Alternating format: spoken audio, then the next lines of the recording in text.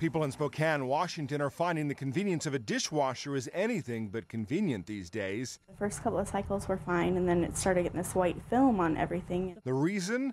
A law passed last year that bans the sale of detergents containing more than 0.5% phosphorus. It's ridiculous, and that you know you wash your dishes and then have to rinse them. It's extra time. Three Washington state counties have the same ban. Didn't even clean the food off, and we have a fancy dishwasher that you're supposed to be able to put dirty, dirty dishes into. People say a move designed to help the environment hurts in other ways. So we actually had to clean them in the sink, put them in the dishwasher, run it with the detergent, and then run it again to get all the film off that the detergent left on it. The phosphorus ban was designed to improve water quality. The chemical can foster algae growth, choking waterways. I'm all for saving the fish, but it's not going to do them any good if there's no water left because it takes us three times to clean our dishes. It's led some drivers to drive to Idaho to buy detergent containing phosphorus.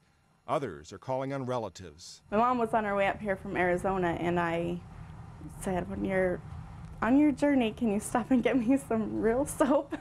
Matt Friedman, The Associated Press.